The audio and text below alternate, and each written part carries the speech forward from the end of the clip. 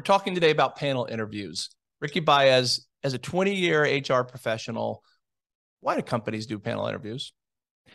You know, Pete, it, some organizations do one on one interviews because they want a hiring authority to just assess the skill set that the candidate is bringing to the table. But the main reason why organizations do panel interviews because it is it is so much better to get uh, an assessment of a candidate skill set from different leaders' points of view. You've got your systematic leader, you've got your your your free spirit leader, your considerate, your direct. You've got the same person being reviewed by multiple leadership uh, styles and multiple leadership outlooks. So that's why I think it's really important to do that. So you get multiple perspectives at once and and really put the candidate under the spotlight, right? I mean, this is an intimidating thing for some people to go into as a candidate. So, what advice would you give to make uh, to make those panel interviews go really well for the individual who's looking to to be hired?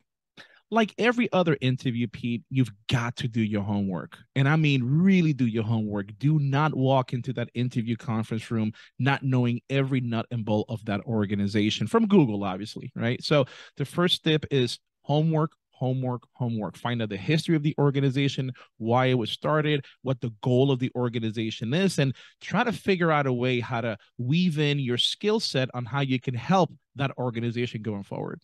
Yeah, every organization who brings someone in for an interview is investing significant time in that individual. So the interest is there.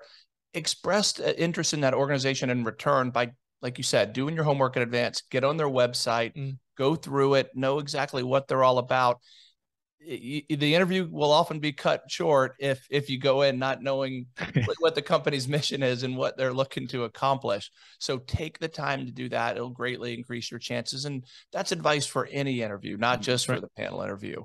So what else? Any, any other recommendations? If you really want to stand out i mean really want to stand out it, it, it's look hiring authorities they they respond to being impressed by the skill set right?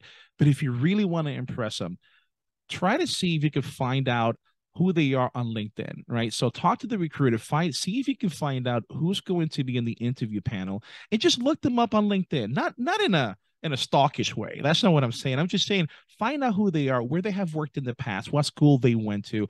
That way you get a better feel of what kind of person you're talking to because you can make a better connection if you know who the recipient of the information you're going to give is, right?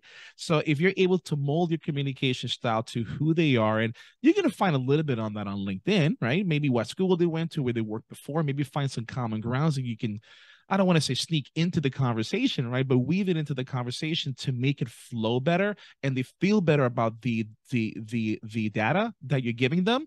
Um, and you'll make a better connection. So I say look them up on LinkedIn. Don't stalk them, but just find out who they are. Don't go to their house. Don't invite. Don't do that. look them up on LinkedIn and know who they are. And you said the key word to this, not not not just in a panel interview, but even harder to accomplish in a pan- panel interview, which is make a connection. Yes. That needs to be the goal going in. And that means looking the individuals uh, ind- individually in the eye the, mm-hmm. and, and, and finding a way to hit the mark with what they're interested in. So you gave another piece of uh, very valuable advice in that, which is to ask the recruiter or whoever is setting up the interview to list the the names and the titles for you of the people who are right. going to conduct the interview. And if if you can get this much information it's even better is to find out what they're looking for in a candidate individually. Mm-hmm. it could be people from different departments. It could be your peers. It could be multiple uh, managers from the department you're going to work in. All these situations are unique. And so the, the as much as anything else the more information you could uh, find in advance, the better about yes. what's expected um, of that of that candidate in the interview to give yourself the best chance for success. And if you do that coupled with great answers, right? Because you really, you know, you want to go in there before you go into that interview panel. Part of that research, part of that homework is it's putting together um, your past experiences and how you're going to answer them, right? Because you have your own experience, you've got your your, your, your resume, which is on paper, you got to bring that resume to life.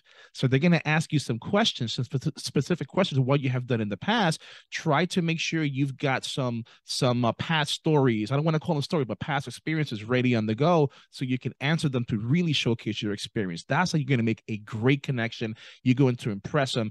That together with making a connection with them, doing that research, you're going to blow them away. I guarantee it.